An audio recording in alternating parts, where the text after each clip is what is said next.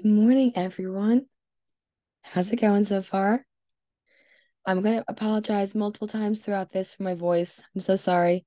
Losing my voice since last night, so bear with me.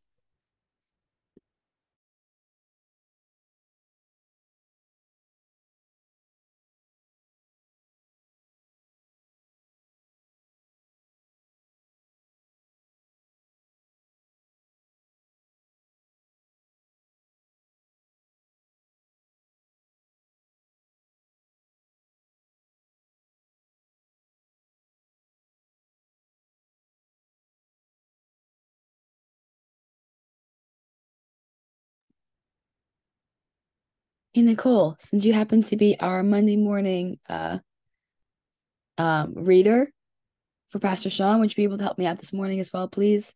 And thank you. Thanks.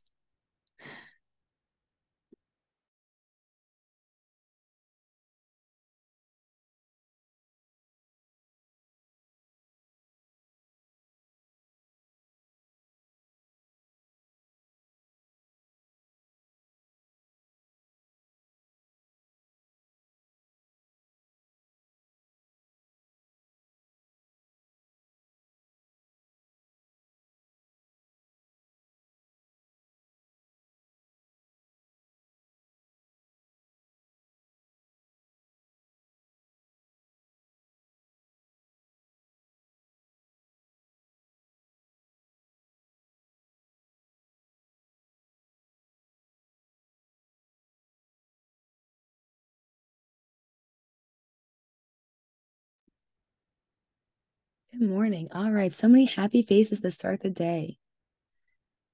Just jumping in. Me try something really quick. Hold on.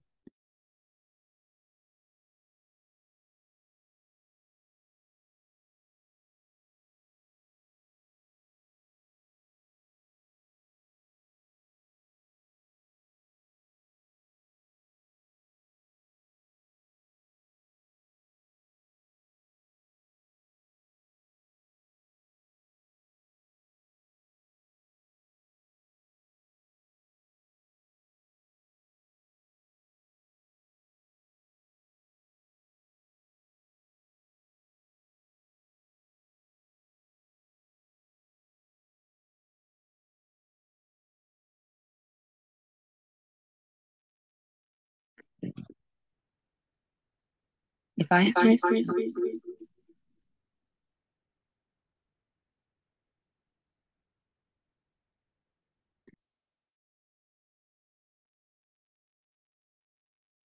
Hmm.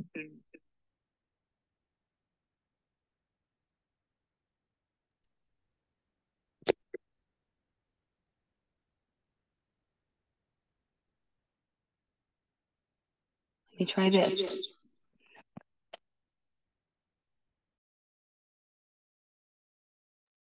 All right, sorry, I was trying a couple things with my microphone.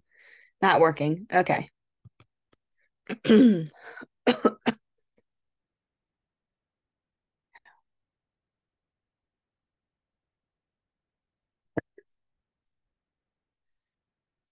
morning, Fusion family. Happy Monday. It's October 30th, rounding out the month of October. We're going into First Chronicles 15 this morning. So I'm going to apologize ahead of time for my voice. I'm so sorry. After all the fun yesterday at Friends and Family Weekend, I've been losing my voice. So um, I'm going to make this as short and sweet as possible to spare you all hearing this for too much longer. um, let's start off. We'll pray in, and the amazing Nicole Benowitz will help through reading uh, First Chronicles 15 with us. All right. So, take a deep breath. We'll focus ourselves, and we'll begin. All right, God. Thank you so much, Lord, for another day. We get to come into your presence. Thank you, God, for another morning, Lord, of your mercy, of your grace, of your love. Thank you that we get to press into your word this morning, all the beautiful lessons and the truth and the grace you have to share with us through it. Right now, Lord God, I would decrease and you would increase. God, let be your word, your truth, your wisdom that's shared with your people, not my own. God, just give us your wisdom for we need you for today. Open our eyes, ears, hearts, and minds to receive what you have for us. In Jesus' name, amen. Amen. All right. So, Nicole, take it away. You had to lose your voice on the day when there's 20,000 names in there for me to pronounce, right? Okay. Uh, good morning, everybody. I'm reading out of the uh, NIV version. Uh, we, again, we are in First Chronicles 15, uh, starting verse one. After David had constructed buildings for himself in the city of David, he prepared a place for the ark of God and pitched a tent for it. Then David said, No one but the Levites must may carry the ark of God, because the Lord chose them to carry the ark of the Lord and to minister before him forever. David assembled all Israel in Jerusalem to bring up the ark of the Lord to the place he had prepared for it. He called together the descendants of Aaron and the Levites, from the descendants of Kohath, Uriel the leader, and 120 relatives. From the descendants of Merari, Asaiah the leaders, and 220 relatives. From the descendants of Gershon, Joel the leader, and 130 relatives. From the descendants of Elizaphan, Shemaiah the leader, and 200 relatives from the descendants of Hebron, Eliel, the leader, and 80 relatives. From the descendants of Uzziel, Amminadab, the leader, and 112 relatives. Then David summoned Zadok and Abiathar the priests, and Uriel, Asaiah, Joel, Shemaiah, Eliel, and Amminadab, uh, the Levites. He said to them, You are the heads of the Levitical families. You and your fellow Levites are to consecrate yourselves and bring up the ark of the Lord the God of Israel, to the place I have prepared for it. It was because of you, the Levites. It was because of you, the Levites, did not bring it up the first time that the Lord our God broke out in anger against us. We did not inquire of him and how to do it in the prescribed way. So the priests and Levites consecrated themselves in order to bring up the ark of the Lord, the God of Israel.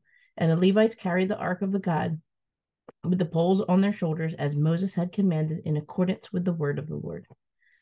Uh, verse 16 David told the leaders of Levites to appoint their fellow Levites as musicians to make a joyful sound with musical instruments, lyres, harps, and cymbals.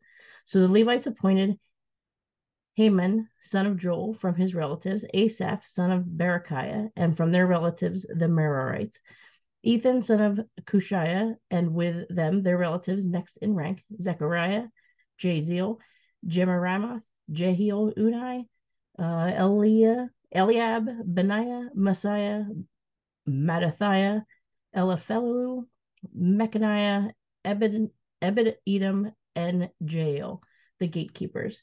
The musicians, Heman, Asaph, and Ethan, were to sound bronze cymbals. Zechariah, Jaaziel, Shemiramoth, Jehiel, Unai, Eliab, Maaseiah, and Benaiah were to play the lyres according to Alamoth. And Mattithiah, Eliph, Belehu, Mechaniah, Obin Edom, Jael, and Azaziah were to play the harps, directing according to Sheminith. Kenaniah, the head Levite, was in charge of the singing, and that was his responsibility because he was skillful at it. Berekiah and Elkanah were to be doorkeepers for the ark. Shebaniah, Joshaphat, Nathaniel, Amasai, Zechariah, Benani, and Eleazar, the, the priests, were to blow trumpets before the ark of God. Obed Edom and Jehiah were also to be doorkeepers for the ark. So David and the elders of Israel and the commanders of units of a thousand went to bring up the ark of the covenant of the Lord from the house of Obed Edom with rejoicing because God had helped the Levites who were carrying the ark of the covenant of the of the Lord, seven bulls and seven rams were sacrificed. Now David was clothed in a robe of fine linen, as were all the Levites who were carrying the ark, and as were the musicians and Kenaniah, who was in charge of singing of the choirs. David also wore a linen ephod. So all Israel brought up the ark of the covenant of the Lord with shouts, with the sounding of rams' horns and trumpets, and of cymbals, and the playing of lyres and harps. As the ark of the covenant of the Lord was entering the city of David, Michal, daughter of Saul, watched from a window, and when she saw King David dancing and celebrating, she despised him in her heart. Word of the Lord. Amen. Thank you so much, Nicole. You crushed all those names. See? Yeah, my That's best work. Answered prayers. All right, so a lot to press into. Sorry, now I have a voice to share it with. um, all right, so previously on soap from last week, if you remember, we started off in chapters um chapter 10 first chronicles right the first um first nine chronicles first nine chapters were all the genealogy of the families of israel and then these early years are actually recounting king david's reign which actually kind of a reflection of second samuel which we uh, went through about a few weeks ago right? But first chronicles gives more of a details more of historical accounts of king david's reign right?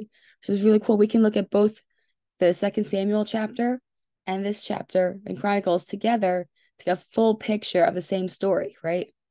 So this um, chapter right here is also in second Samuel chapter 6 when David the second attempt, second test of David bringing the ark back to Jerusalem, right?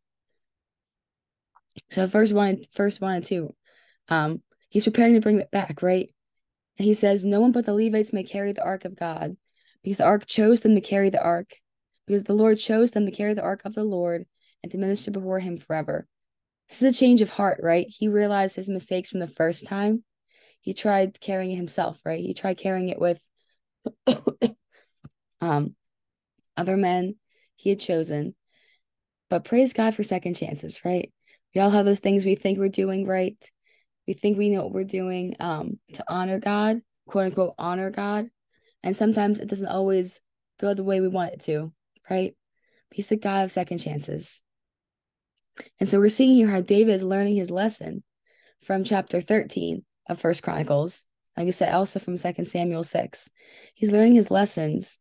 So verse 3, what's he doing? He's calling together the descendants of Aaron and the Levites from the descendants of Kohath and going through, you know, the whole list of the leaders of the tribes of from his family. Altogether, it's 867 total descendants. He's calling together to worship and travel alongside the ark. That's basically our entire Sunday services, you know, for give or take a few, you know, hundred. But it's basically imagine an entire Sunday morning of church services across five, you know, five services across both locations, you know, in person, coming together to have a giant worship party, a giant caravan to carry God's presence with them, right? And it's really cool again because um, we're seeing how this list of names is actually giving validity to this whole project, right? Validity to this whole um, mission that David's on These, like I said, these were all men and leaders and relatives of the Levites. So we're seeing that there's more authority and there's more blessing from God because David's following what was actually prescribed to to the Ark of the Covenant. Those who are called to minister to the Ark of the Covenant, right? If God calls us to something, we need to own it, right? It's our role, our responsibility to own what God's giving us to steward and to end our ministry, right? Whether it's ministry in the church, in our home, in a workplace, whatever it looks like. Your ministry is your ministry.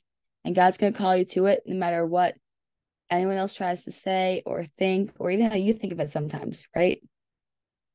So walk in that confidence, walk in that authority that God's called you in, right? That's what we're seeing David do here through the Levites and through these, these family lines. Um, verse 15 or verse, I'm sorry, 11 through 15, talking about how David is summoning the people and what the preparations are, right? To consecrate themselves to bring the Lord up. It's because in verse 13, he says, It's because you, the Levites, did not bring it up the first time. The Lord our God broke out in anger against us. We did not inquire of him of how to do it in the prescribed way. So, what was that prescribed way? Exodus 25, it tells us. In verse 10, he says, God tells them, have them make an ark of acacia wood, two and a half cubits long, a cubit and a half wide, a cubit and a half high. So basically, it's about three, three and three quarter feet, just under four feet long, and just over two feet wide and high. Overlay with pure gold, both inside and out. Make a gold molding around it. Cast four gold rings for it, and fasten them to its four feet, with two rings on one side and two rings on the other. Then make poles of acacia wood and overlay them with gold. Insert the poles into the rings on the sides of the ark to carry it. Poles are to remain in the rings of this ark, they are not to be removed. So basically, it's a giant chest, right? If you have a giant, um, a chest or not a suitcase, but not not a, not a good example, right? Old traditional suitcase, right? Like a nice, you know, like Oregon Trail or nice, you know, Revolutionary War style with nice wooden case, right? On these two long poles. And so we're talking, we're talking, it's wood, so it's heavy. Even though it's only four by two, it's still heavy box. The gold makes it heavy. the poles with the, the gold makes it, even the poles themselves are heavy, right? And so that's what they're being told to carry on their shoulders. And yet, in 2 Samuel 6 and 1 Chronicles 13, we read about the Israels trying to move it, the ark, with it on a cart pulled by oxen. And that's what led to almost falling over and where Uzzah was killed for touching it, trying to catch it from falling over, right? And what's what's happening? You know, God told us how them how to do something. He told the Israelites how to prepare to move his presence. And they tried doing taking the easy way out, right? They thought they could be so cool, so fancy with this new cart, this new technology, right? That the Philistines actually had. So when the Philistines stole the ark, they put it on a cart and carried it off. And so it's much easier when you have ox on a cart to pull this big heavy box, right? But the reality is, there's no easy way to to carry out what God's called you to carry out, both physically, right, like a like an ark, and and spiritually, and emotionally, mentally, and your leadership, whatever it looks like. There's no easy way to carry what God's called you to carry. It's not supposed to be easy. If it was easy, someone else could do it, not you, right? And so God gives them a very clear description of how to carry this out, which they failed at the first time. And so when David comes back the second time here in chapter six, uh, chapter 15, excuse me, in chapter 15, he's giving them a, a change of heart, right? He's saying, hey guys, let's do it right this time, right? And even says in Numbers 4, verse 15, um, after Aaron and his sons have finished covering the, covering the holy furnishings and all the holy articles, when the camp is ready to move, only then are the Kohathites to come and do the carrying. But they must not touch the holy things or they will die. And that's why we had the Ark on the Covenant on the poles. Because the, the Ark is so holy, you can't touch it. That's why when Uzzah touched the cart, even though, you know, he may have been trying to help, just the, that unholy act, that the act of an instinct of of not thinking something through, right? He lost his life. And same thing here, you know, with this ark. The point is they're on the pole, so you don't touch the ark. and they're also being called to consecrate themselves. In Exodus 19 and Leviticus 16 and 21, we read some of the um, consecration methods that they use for the priests through sacrifices, through fasting, through avoiding unclean contact, preparation to do, to do their holy work. And I'm reading these details, right? It's, I'm not going to go into all the details today, but if you want to, like I said, Exodus 19, Leviticus 16 and 21, you can look at yourselves and see the consecration methods. All I think is thank God for Jesus, right? Because of Jesus' sacrifice, we no longer have to consecrate ourselves to serve his presence. We no longer have to, you know, if you're serving on a dream team, on Sunday morning, or serving at youth on Monday night, or you're serving as connect group leader during the week, you know, because of Jesus, we no longer have to go through a whole consecration process and, and go through legalism to serve God's house. Amen. And that's not to say we shouldn't be reverent. That's not to say we shouldn't, you know, take these things for granted, right? And take our leadership or our serving, you know, for granted or with with haphazard actions, you know? You still need to have reverence, still need to have honor and respect for God's house. We need to have um, a personal, you know, self reflection and personal self examination in our, our own, you know, walk with God. But yeah, because of Jesus' sacrifice, We won't have to go through this whole consecration process, right? We're all called to be chosen, a chosen people, a holy priesthood, a royal priesthood. And because of Jesus' sacrifice, we get to walk in that royal priesthood calling. Amen. and the reality is, it's not just the what or the why, but the how we serve God that matters. You know, like I said, you know, we can serve God with all the, the newest ways, you know. But the Israelites thought they were so cool to serve God that's brand new with technology, right? We can think we're so cool, you know, posting about God on social media or, you know, trying to do whatever we want to do. And oh, look, this new technology I'm using to bless to bless God and to, to praise God and do all these things. But the reality is if our heart's in the wrong place, if we're trying to take the easy way out of something, if we're trying to build our own platform, not our not God's platform, the reality is it's not gonna be blessed. And we can't do things the easy way or, or the selfish way or our way because obedience to God's word brings blessing. Obedience to God's calling, God's purposes, God's plans for us is where the blessing is. And we read that back in First Chronicles 13, right? And even like I said, Second Samuel 6 too. Um, after the incident with the ark, after Uzzah was killed, David didn't want the ark anymore. He was he was fearful of it. So he sent it to live at the home of Obed Edom, the Gittite. and during its stay in Obed Edom's home, his home was blessed for three months because the presence of God was there, he was obedient to it. There was blessing in his home. There's blessing for us in our homes, for our families. We walk in obedience to God. Amen.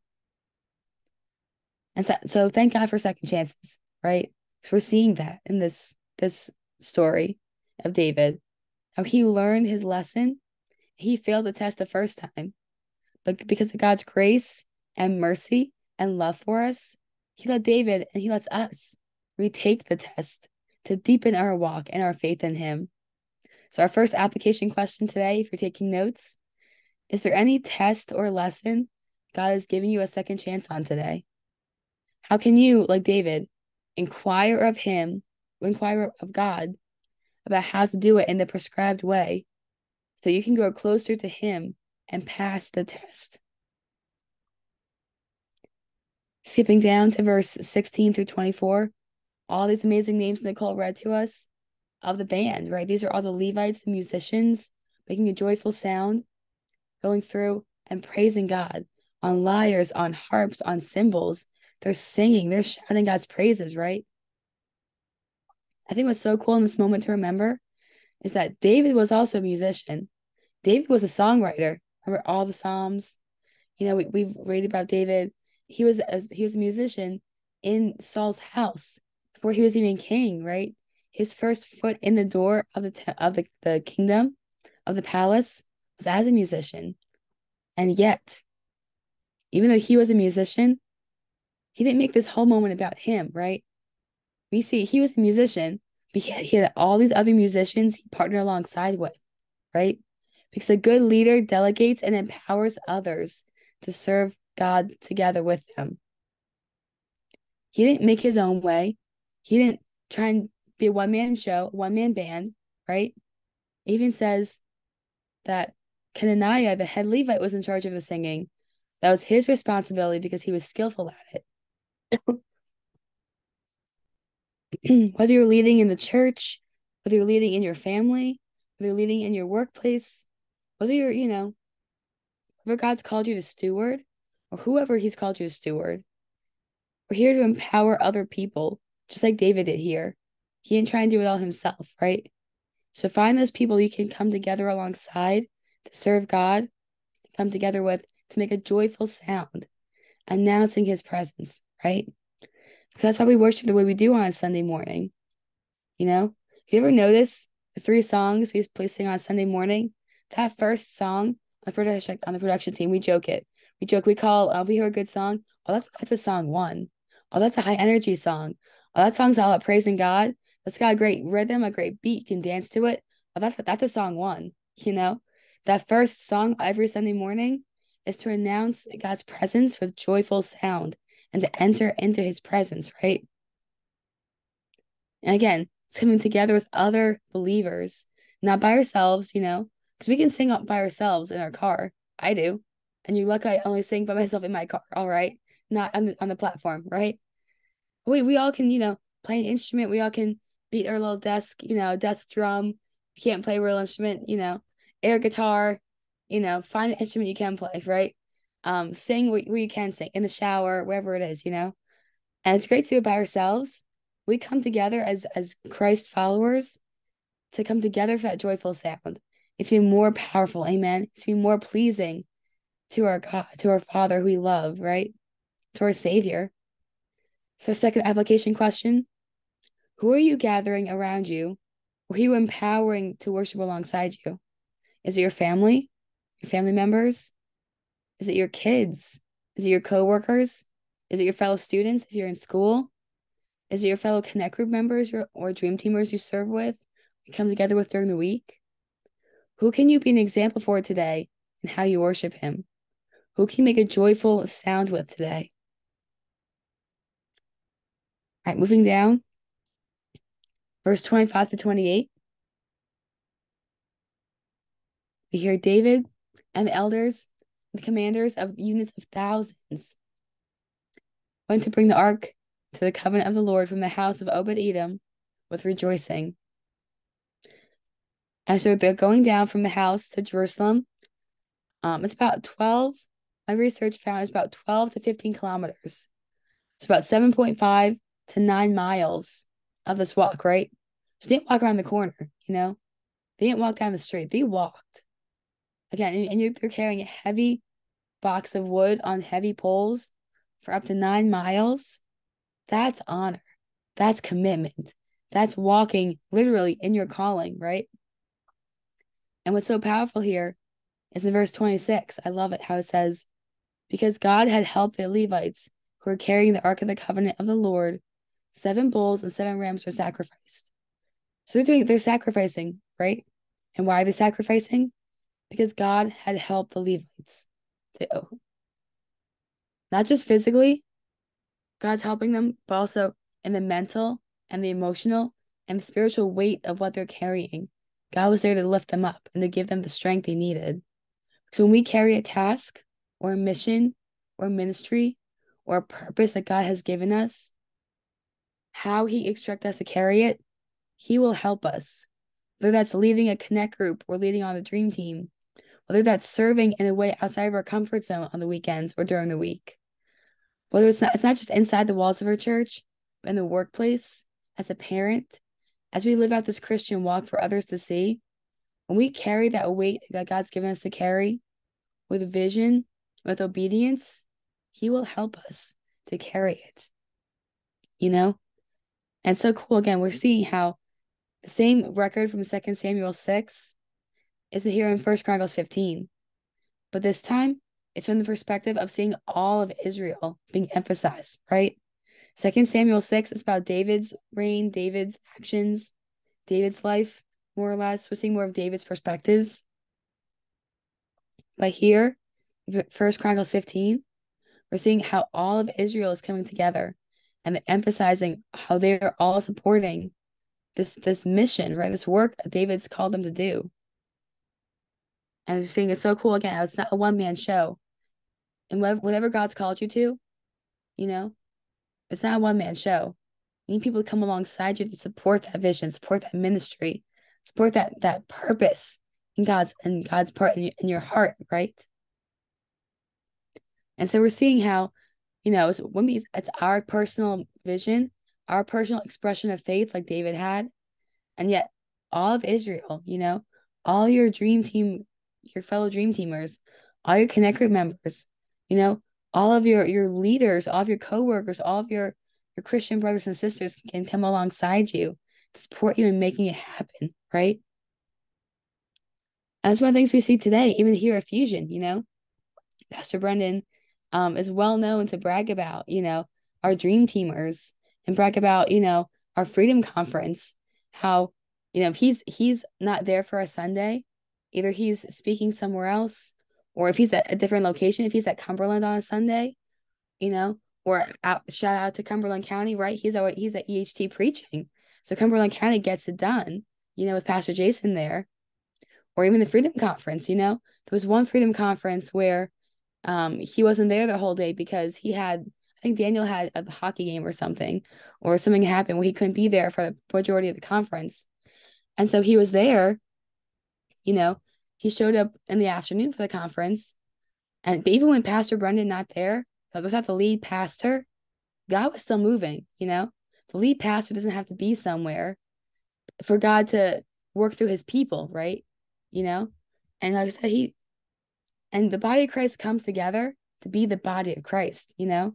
Our freedom, we have almost a hundred volunteers every freedom conference, the last few freedom conferences, right? And so it's not about one person or one speaker or one leader or even one pastor, right? Because when the body of Christ comes together to fulfill a vision, fulfill a, a purpose that God's given them, God's going to show up. God's going to move, right? We're going to see that his power, his healing exemplified. Same thing on Sunday, you know, whether, you know, back in the Somers Point days and the Mays Landing days, even now at Cumberland County, right? We have, you know, we do video messages, we live stream places, you know, people watch online, our online family, you know, we see God move in incredible ways. We're not making this up, you know, through our online family. We see God move. we see God move in to bring salvation online through a computer screen, to bring salvations through a, a live stream to another location. We see God move through people getting receiving prayer online, you know?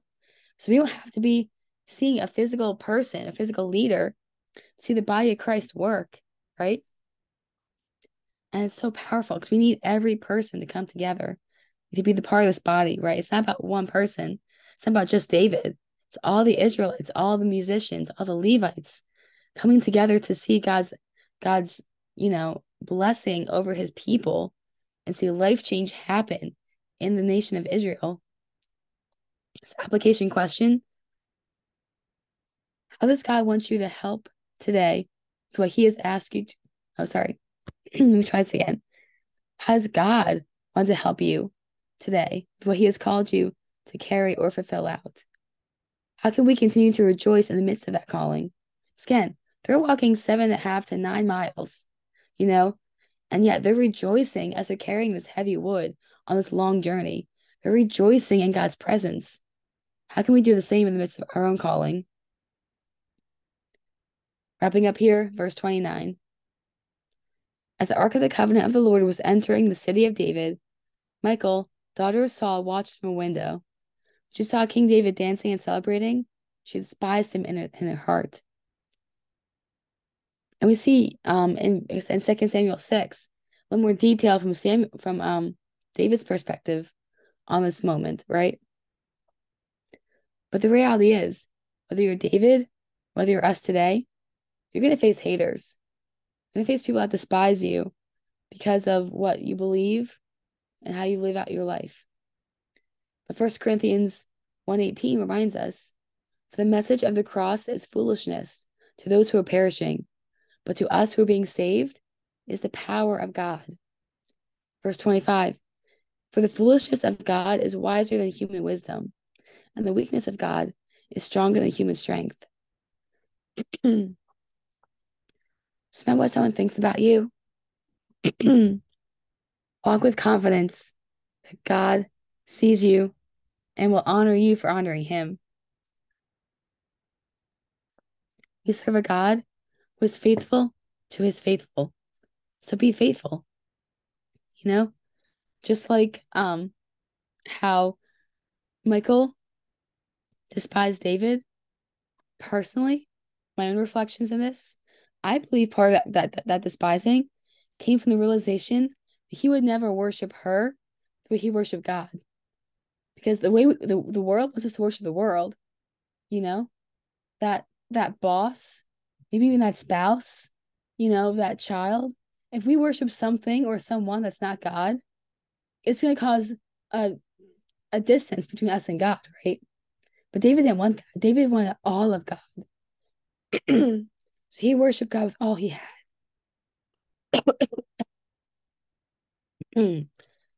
so when Michal when Michal realized that she, he would never worship her, but he worshiped God, she despised him, right?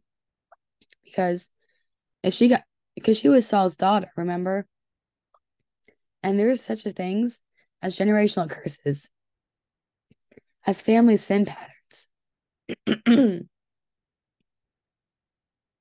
so we're seeing that sin pattern from Saul, who wanted all the attention, who want people to only look at him, who, you know, who's full of selfishness and vanity, more concerned with what other people would say about him rather than what God thought about him, right?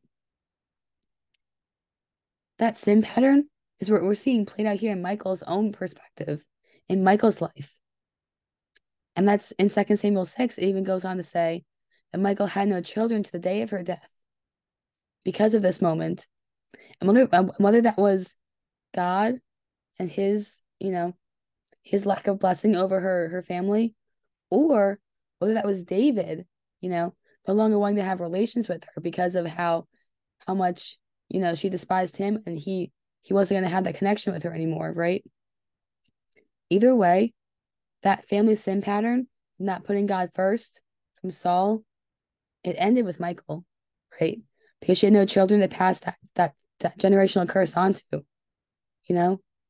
And so sometimes we need to be really aware of ourselves and things we're saying and doing to others, that has the potential to pass on to our kids or to those around us. Even if it's not blood relatives, but our nieces or nephews or or family members, kids, or friends' kids, right? Being aware what we pass on to our kids or we don't pass on to our kids is so crucial. Amen. so we always need to put God first. Need to worship Him first, be the example for others in our families, in our, our workplaces, our schools, wherever it is. See us living by example first and how we worship and how we serve. Amen. So get your notebooks ready. Our three application questions as we close out. Number one, is there any test or lesson God is giving you a second chance on today? how can you inquire of him about how to do it in the prescribed way, like David did? so you can grow so that you can grow closer to God and pass the test. Question two Who are you gathering around you or empowering you to worship God alongside? Family members, your kids, your coworkers, your fellow students, your Connect Group members, your Dream Teamers. Who can you be an example for today in how you worship Him? Application question number three How does God want to help you today with what He has called you to carry or fulfill? How can we continue to rejoice in the midst of that calling? Let's pray. Let's pray. God, thank you for helping us this morning and what we call this win. Thank you, God, that when we cry out to you, we walk in obedience, we walk in faithfulness, you meet us and you bless it, God. Help us to walk with trust, with strength, with confidence, with empowerment, God, by your Holy Spirit. And let's see your blessings on our lives, on our families, on our workplaces, and wherever, wherever you call us to, God. Let's walk in obedience and see the full measure of your goodness and your faithfulness meet with us. Ask and pray this in Jesus' name. Amen. Amen. Have a great rest of your day, all. Thank you so much again for putting up with me and my voice this morning. Love you guys. God bless.